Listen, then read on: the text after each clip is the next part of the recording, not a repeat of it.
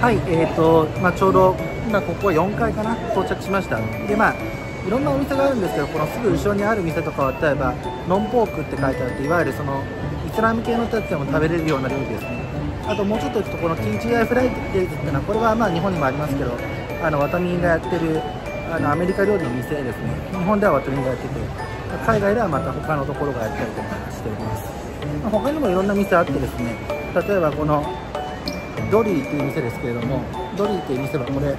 あのいわゆる中国系のねその中華料理ですね。天津の店なんですけれども、まあ、結構昨日行きましたけどなかなか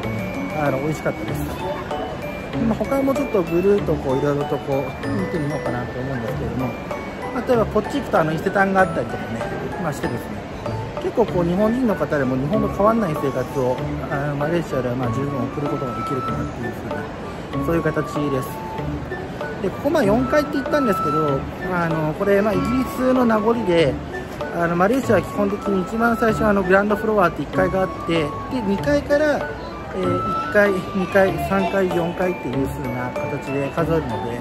まあ、結構そういううと、え実はですねあのいわゆる日本人からするとここは本当は5階なんですよね。っていう風な形で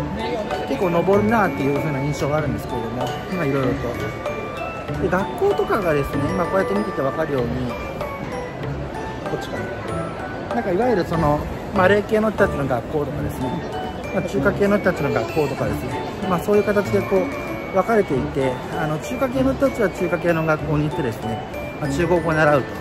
でマレー系の人たちはマレー語を習うと。ただまあ全体的にはやっぱり英語は統一語なので、まあ、英語をですねあのすごくこうあの通じやすいっていうふうな、えそういう形です。でこれも後ろ中華料理ですね。とか。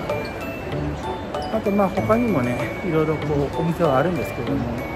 まあ、大体中華料理かなっていうイメージですね。マレー料理なんかもすごいこうあの中華風だったりしますし。まああのこれがいわゆるエビそばの店ですね。エビそばの店とかがあったりとか。あのまあやっぱりこうすごいこう混雑がねすごい。こんな感じでもうめちゃくちゃ並んでるような感じなんですけれども。まあちょっとねこうこの中でまた美味しそうな店を見つけていろいろと。あとあの倦怠法ってねあのこれ日本でもすごい有名ですけどあの倦怠法あるのでちょっと倦怠法行ってみようかなと思います。